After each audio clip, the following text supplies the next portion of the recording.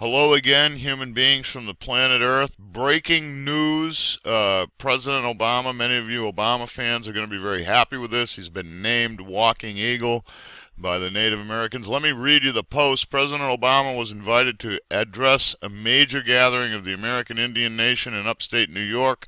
He spoke about his plans for increasing every Native American standard of living. He referred to his time as a U.S. Senator and how he had voted for every Native American issue that came to the floor. Although Obama was vague about his plans, he spoke eloquently about helping his red sisters and brothers.